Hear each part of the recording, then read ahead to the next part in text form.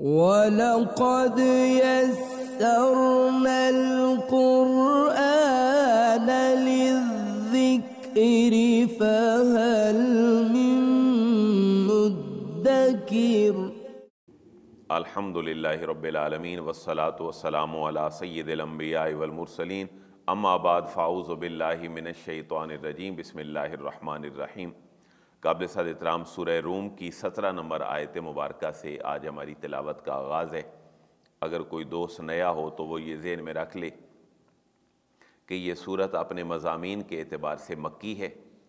और इसके अंदर एक बहुत बड़ी प्रिडिक्शन थी, जब रूमियों को शिकस्त हुई और ईरानी फाते हुए तो अल्लाह रब्ज़त ने यह बशारत दी कि एक वक्त आएगा कि अल्लाह रूमियों को ईसाइयों को और अहल किताब को, फ़ारसियों और ईरानियों और मजूसियों के ऊपर जो है वो फ़तह ता फरमाएगा। इसकी वजह से इस सूर मुबारक का नाम ही सूर रूम है। तो इसके जो मजामी हैं, वो मक्की मजामी हैं, तोहद बारी ताला का इस बात है और रद्द शिरक है और ईमान बिलाखरत के ऊपर इसके तकरीबन चार रकू हैं और जो दलाइल दिए गए हैं, वो दलाइल अल्लाह की कुदरत पे हैं और उसकी कुदरत की एक निशानी ये है कि उसने इंसान को पैदा किया है और जब मर जाएगा तो इसको वो दोबारा उठाने पर भी कादिर है। तो जहाँ कुदरत बारी ताला की निशानियाँ हैं, वहाँ ईमान बिल्ला और ईमान बिल आखरत इन दोनों को ज़िक्र किया गया है। आज की जो इब्तदाई आयात मुबारक हैं, सत्रह नंबर और अठारह नंबर, ये आयात मुबारक अपने, अपनी रूहानियत के अतबार से और इसका अहलुल्लाह के यहाँ ज़िक्र और वजीफ़े के अतबार से ये बड़ी ख़ास अहमियत रखती हैं। इनके अंदर अल्लाह की तस्वीर का ज़िक्र है और अल्लाह की तहमीद का ज़िक्र है। तो इसमें दो बातें नोट फरमा लीजिएगा कि ये सूरत मक्की है तो मक्के में अल्लाह रब्ज़त की जो तोहद और मोहब्बत का तराना है, वो सुबह शाम अलापने का हुक्म दिया गया। कि जहाँ आपने बड़ों की तारीफ़ और सिफत सना करते हो अहल अरब के यहाँ बड़ा तरीका था कि अपने अबाव अजदाद को बड़ा डिस्कस करते थे। आज हम बैठते हैं ना तो कोई काम नहीं होता तो कभी अमेरिका डिस्कस हो रहा होता है। कभी जनाब सुपर पावर की बातें हो रही होती हैं, कभी आईएमएफ की, वर्ल्ड बैंक की। तो अरबों के यहाँ अपने अबाव अजदाद के हवाले से बड़ा उनका ज़िक्र था। उसको वो इबादत समझते थे। हती कि वो हज के मौका पर भी जब इकट्ठे होते थे तो वो अरफात नहीं जाते थे, वो मुजदलफ़ा में बैठ कर अपने बड़ों का ज़िक्र करते थे। अल्लाह फरमा रहे जितना जम के बड़ों का ज़िक्र करते हो, इससे भी ज़्यादा जम के तुम अल्लाह का ज़िक्र करो। तो यहाँ अहल मक्का को जो अवलिन मुखातिब हैं इस सूरत के नज़ूल के बाद, उनको अपनी ज़ुबानें सुबह शाम अल्लाह के ज़िक्र से तर रखने का अल्लाह हुक्म फरमा रहा है। और फिर इस आयत मुबारक को पढ़ के एक और इसके बारे में भी राय है, मैं वो भी आपसे शेयर करूँगा। आऊज़बिल्लिमिनशैतरजीम बसमीम फ़सुबहान फ़ा कमाना पस है जी सुबहान अल्लाह अल्लाह की ही तारीफ़ है तो ये जो है, एक अरबी का कायदा है कि ये मस्तर है और इससे पहले जो फ़ेल है, वो ज़िक्र नहीं किया गया। असल में ये था कि अल्लाह की तारीफ़ बयान करो। तो उसका तरीका भी बता दिया गया कि उसकी तस्बी का तरीका क्या है? सुबहान अल्लाह तो ये अरबी बलागत और उसूल के मुताबिक पहला जो फ़ेल है सब बेहू अल्लाह की तस्बी करो, वो ज़िक्र नहीं किया गया और ये कह दिया गया फसुबहान अल्लाह पाकी किस के लिए है? अल्लाह ही के लिए है। कब कब है जी? हीना तुम सून ज़रा वक्त गिनिएगा। हीना तुम सून हीना वेन।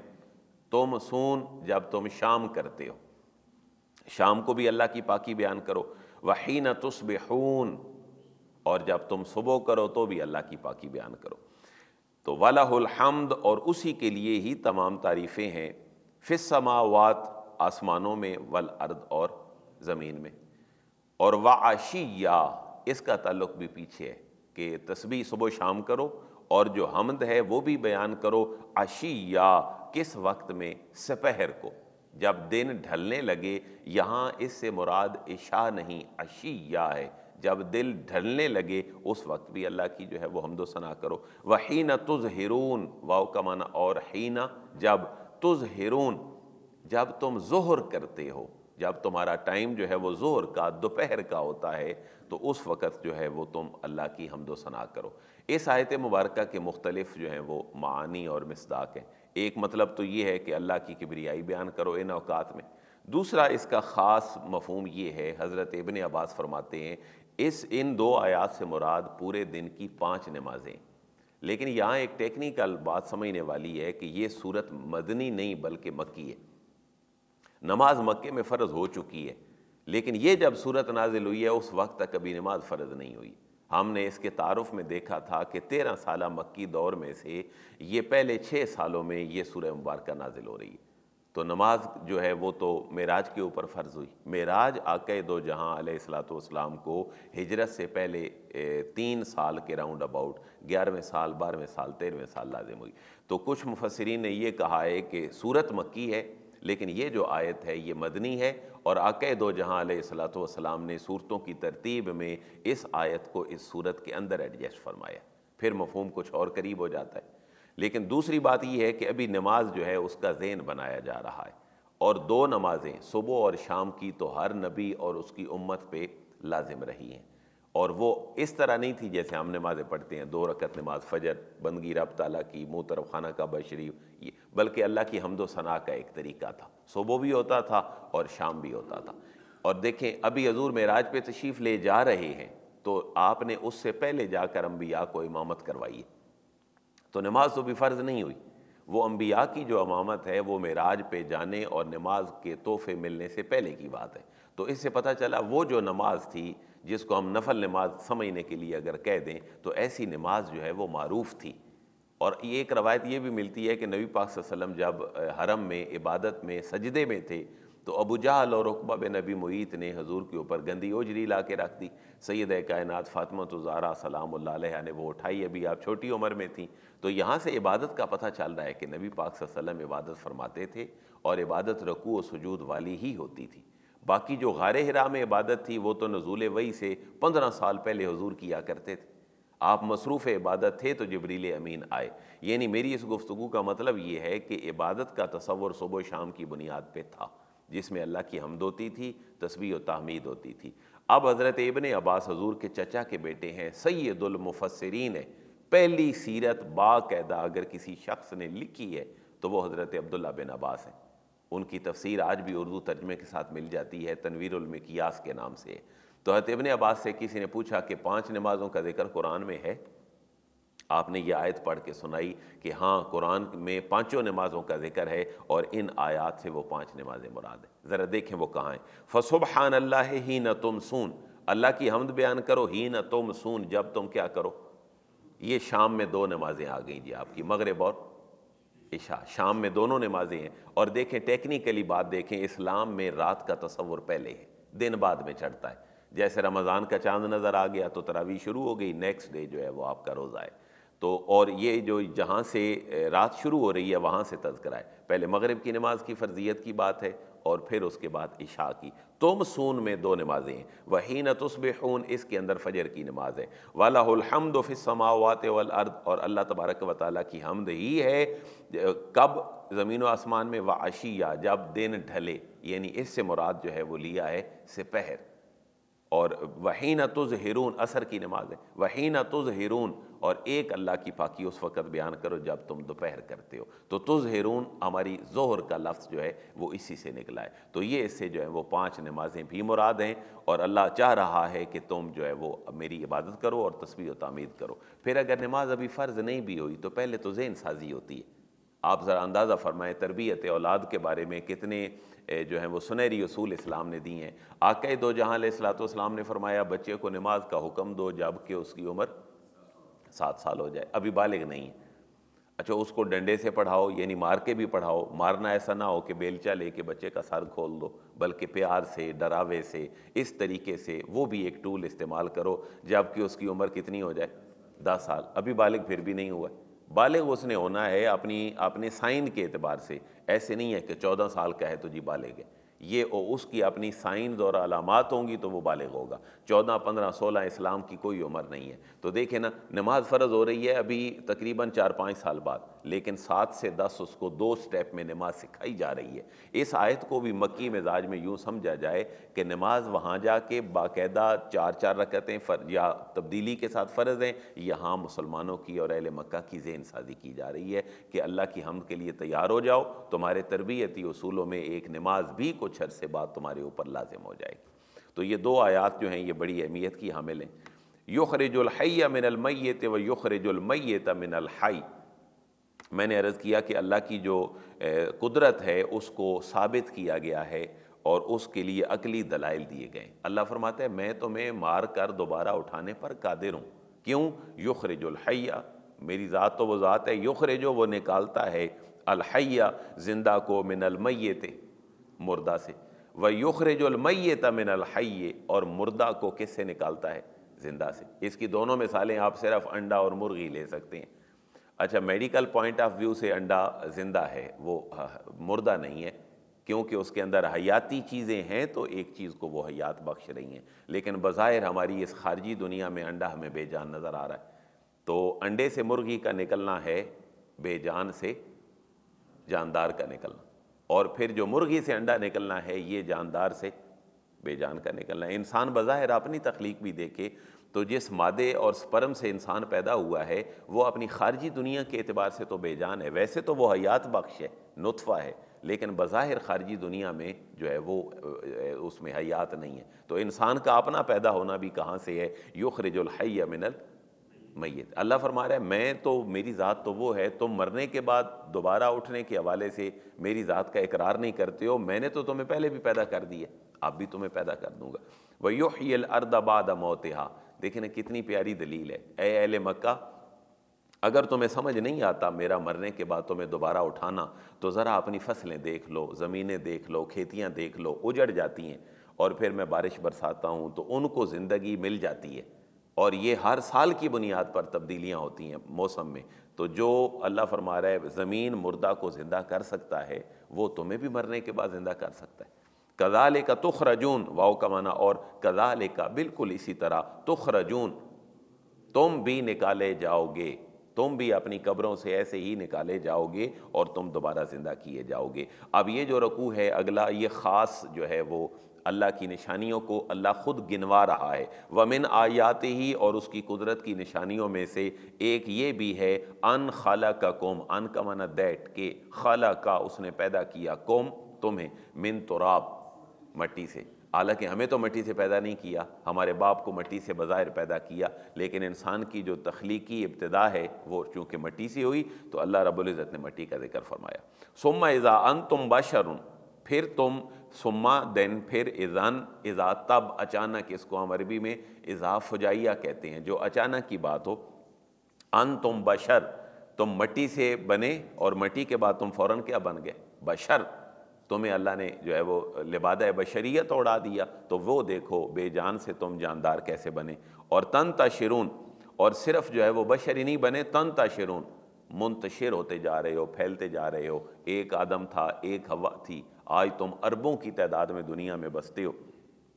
और अरबों गुजर चुके हैं, पता नहीं कितने रब की कुदरत है कि क़्यामत तक आएँगे। तो अल्लाह फरमा रहा है, क्या इतना प्रोसीजर तुम्हारा, मेरी ज़ात के होने का तुम्हें पता कोई नहीं देता? मट्टी से पैदा हुए हो, बशर बने हो, ज़मीन में चलते फिरते हो, एक आदमी अपनी ज़िंदगी में अगर देखे ना जी तो वो तीस पैंतीस अपनी नस्ल के बंदे देख के जाता है। अगर हम अपनी फैमिली में गौर करें ना जी, वालिद साहब के ऊपर तो छः सात बहन भाई होते हैं। अगर वालिद साहब की हयाती में इनकी शादियाँ हो जाएँ और औलादें उसको, वालिद को छः सात बच्चों की देखनी मिलें, अल्लाह उसको ये खुशी दे तो तीन तीन, चार चार औलादें भी सब की हों तो एक आदमी अपनी ज़िंदगी में पैंतीस, चालीस बंदे देख के जाता है। तो ये है तन तशरून तुम फैलते जा रहे हो। क्या अब भी तुम्हें मेरी कुदरत के ऊपर यकीन नहीं? वमिन आयात ही और अल्लाह फरमा रहा है, मेरी कुदरत की जो आयात हैं, उनमें से ये भी है, अन खाला कलकुम मिन अनफुसकुम अजवाजा। अन का मन? के दैट खाला का उसने पैदा फरमाया, लकुम, तुम्हारे लिए मिन अनफुसकुम, तुम्हारी अपनी ज़ात में से ही अजवाजा जोड़ा। तो तुम्हारी अपनी ज़ात में से ही, आदम से ही तुम्हारे लिए हवा की शक्ल में जोड़ा पैदा फरमा दिया। ले तस्कुनू इलेहा, ताकि तुम उससे सकून हासिल करो। वजा आला बैना कुम और उसने पैदा फरमाए तुम्हारे लिए मवदतन मोहब्बत व रहमतन, और रहमत पैदा फरमाई और रहमत के जज्बात पैदा फरमाए। ये वो बात है जहाँ दुनिया की कोई टेक्नोलॉजी क़्यामत तक नहीं पहुँच सकती। वो रोबोट बना देगा, कोई सिक्योरिटी के लिए बड़े बड़े हिसार पैदा कर लेगा, लेकिन वजह अलबैन को मवदतम व रहमा, मोहब्बत, रहमत और फीलिंग्स और एहसास ये अल्लाह के अलावा कायनात में कोई भी पैदा नहीं फरमा सकता। और जो अल्लाह से दूर होता है, अल्लाह उससे ये जज्बात छीन लेता है। आपने देखा बड़े जाबिर किस्म के लोग होते हैं। और उनके दिल के अंदर कोई रहम नहीं होता। तो रहम और फीलिंग सिर्फ़ अल्लाह रबुल्ज़त इंसानों के अंदर डालता है। इन फ़ीज़ाल का लायात बेशक इन, इस तमाम चीज़ों के अंदर बहुत सारी निशानियाँ हैं।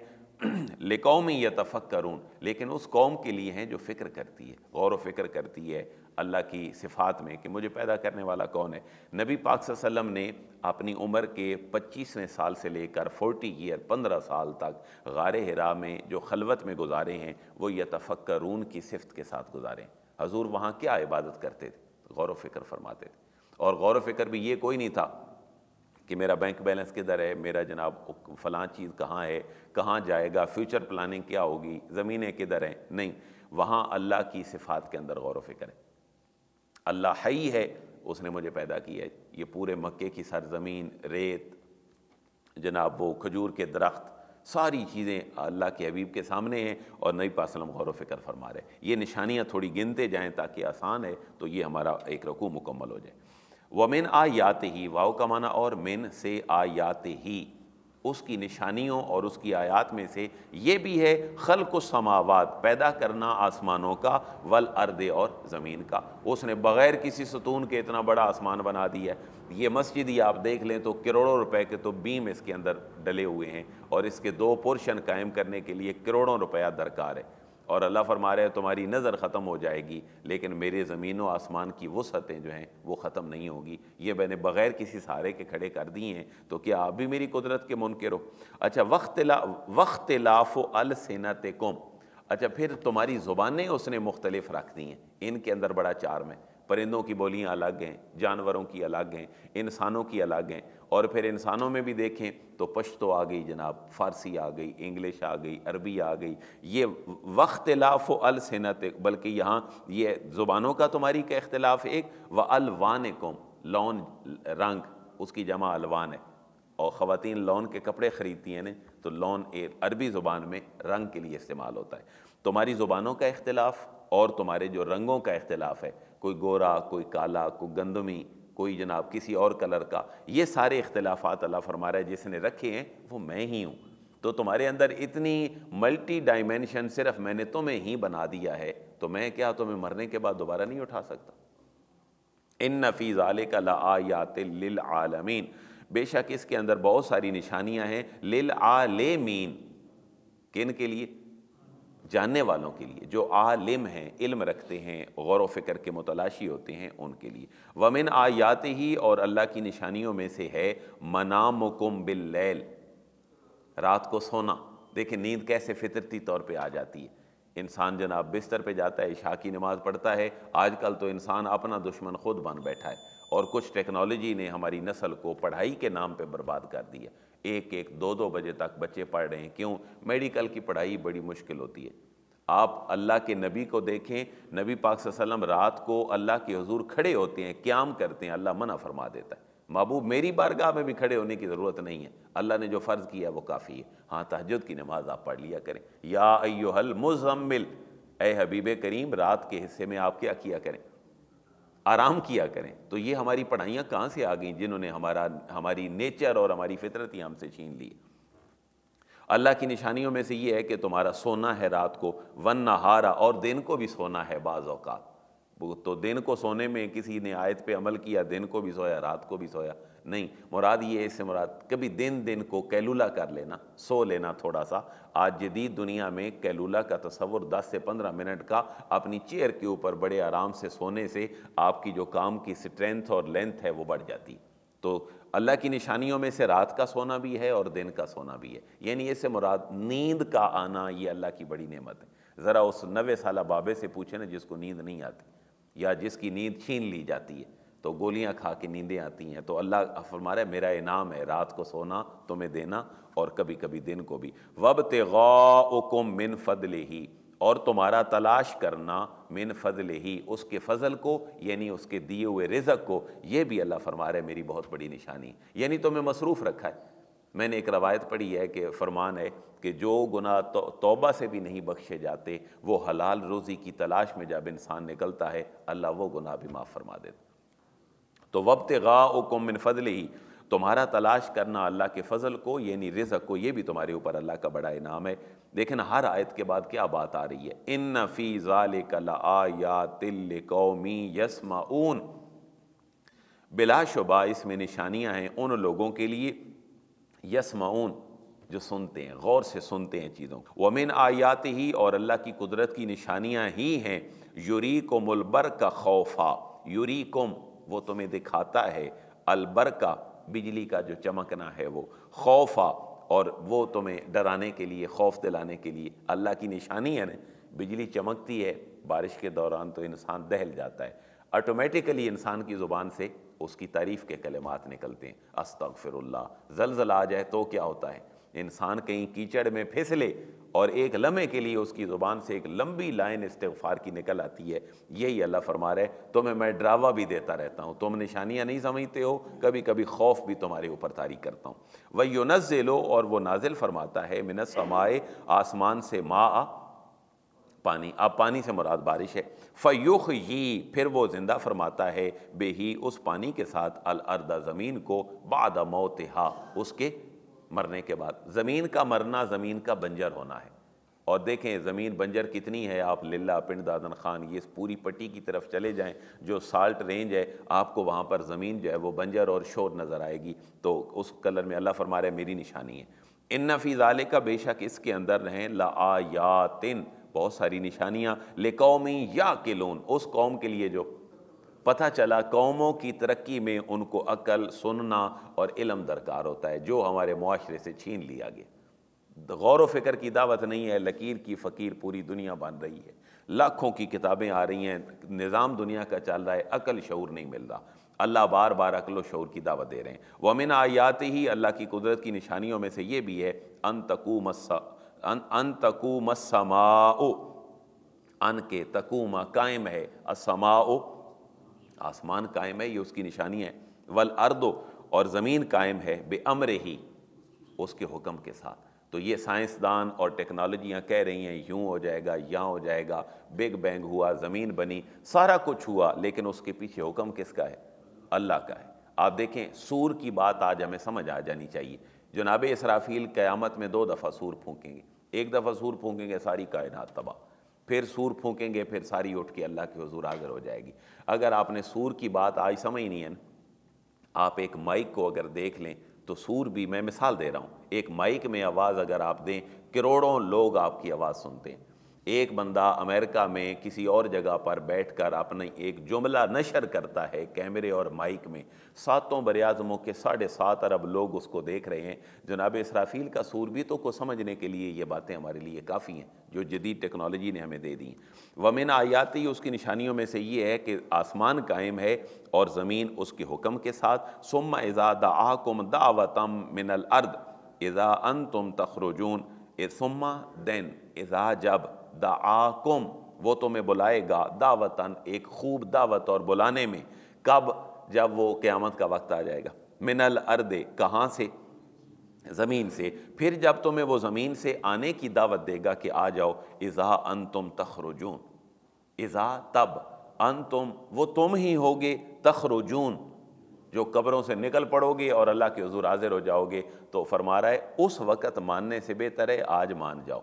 उस वक़्त तो मैं हुक्म दूँगा तो निकल पड़ोगे सारे। कब्रों से भी, जहाँ जहाँ तुम छुपे होगे, मेरे पास आ जाओगे तो कल के मानने से बेहतर है, आज ही मान लो, ताकि मेरे हबीब की जो मिशन और तालीम है, वो भी पहुँच जाए। वाला हु, और उसी खाल के कायनात के लिए है, मन फिसमावत जो कुछ आसमानों में है, वल अर्द, और ज़मीन में है। कुल लहू कान तून कुल्लुन, हर चीज़ कायनात की, लहू उसी के लिए कान तून फर्मा बरदारी में। आप दुआ कनूत पढ़ते हैं ना जी दुआ कनूत में अल्लाह की फर्मा बरदारी के सारे वादे किए गए। आप दुआ कनूत पढ़ के देखें एक एक प्रॉमिस है अल्लाह की ज़ात के साथ। अल्लाह जो ये करेगा, मैं उसके साथ ये नहीं करूँगा, मैं तेरे साथ ऐसा ताल्लुक़ रखूँगा। उसको दुआ कनूत इसलिए कहते हैं कि अल्लाह की फर्मा बरदारी का बहुत बड़ा ऐद है। वह आखिरी आयत, वह वल्लजी और वही है यबदा खल का जो इब्तदा फरमाता है अलखल का तख्लीक की, उसने कैसे ज़िंदगी बख्शी कायनात को? सुम्मा युईद हो उसकी पहली तख्लीक पर ही ईमान लाना सिर्फ़ ज़रूरी नहीं है, हमें ये ईमान लाना भी ज़रूरी है कि सुम्मा फिर युईद हो उसका यादा फरमाएगा, रिपीट फरमाएगा उसको, पहले भी ज़िंदगी पैदा की और फिर इंसान को मार दिया, फिर उसका इरादा फरमाएगा, नए सिरे से उसको पैदा करेगा। वह वह आहवानो आलह बंदा सोच में पड़ गया, इतना मुश्किल काम अल्लाह कैसे करेगा? इसीलिए तो अहल मक्का का एक वफद आया नबी पाक वसल्लम के पास। कहने लगा कि अय मुसलमानों के नबी, अल्लाह के नबी, इतना, जिस अल्लाह का आप तारुफ करवाते हैं कि पहाड़ों का अल्लाह कौन? अल्लाह तुम्हारा। और जनाब, समुद्रों का खालिक कौन? अल्लाह। ज़मीनों का खालिक कौन? अल्लाह। तो अहल मक्का कहने लगे, आप हमें अल्लाह की फिर खुराक बताएँ, वो अल्लाह खाता क्या होगा? तो अल्लाह रबुल्ज़त ने फिर जनाब पूरी तारीफ़ छोटी सी सूरत में कर दी। कुल हो वल्ला हद अल्लाह समद लम यलिद, वलम यूलद, वलम यकुल्लहु कुफ व नहद वो अकेला ही है, वो तनहा है, जिसने ये सारा कुछ किया है। कोई सोच सकता था कि पैदाइश, मौत, नई ज़िंदगी, इतने लंबे जतन कौन करेगा? अल्लाह फरमा वह होवा आहवानो अलही। वाओ का माना, और होवा ये पूरा प्रोसीजर आहवानो बड़ा ही आसान है, अलह उस ज़ात के लिए वाला हुल मसल आला फिसमावात वल अर्द वह वल अज़ीज़ुल हकीम। वाओ का माना, और लहू उसी के लिए है अलमसल आला। बरतर जो शान है, वो उसी के लिए है। फिसमावात आसमानों में, वल अर्द और ज़मीन में वह वल अज़ीज़ुल हकीम, और वही गालिब और हमत वाला है। आखिरी आयत ये रकू की बयान करके ये कहा, मेरी इतनी लंबी दलीलें देने के बाद भी अगर तुम्हें समझ नहीं आती तो खुलासा ये है वाला हुल मसल आला, बरतर शान उसी की है। तुम्हें समझ आए या ना आए, बरतर शान उसी की है। तुम्हें बाप की झिड़क समझ आए या ना आए, शफकत बाप की झिड़क के अंदर ही है। माँ की वो जो मार है, वो तुम्हें अच्छी लगे या ना लगे? तुम्हारी कामयाबी उसी की फर्माबरदारी के अंदर है। तो अल्हम्दुलिल्लाह, आज हमने सत्ताईस आयात मुबारक देखी हैं। और इस सूरत के जो है वो तीन रकू भी मुकम्मल हो गए हैं। टोटल इसकी आयात हैं जी। साठ आयात मुबारक हैं, मक्की सूरत है। अल्लाह में अखलास अता फ़रमाए और जितनी रास्ते की रुकावटें अल्लाह उनको दूर फरमाए।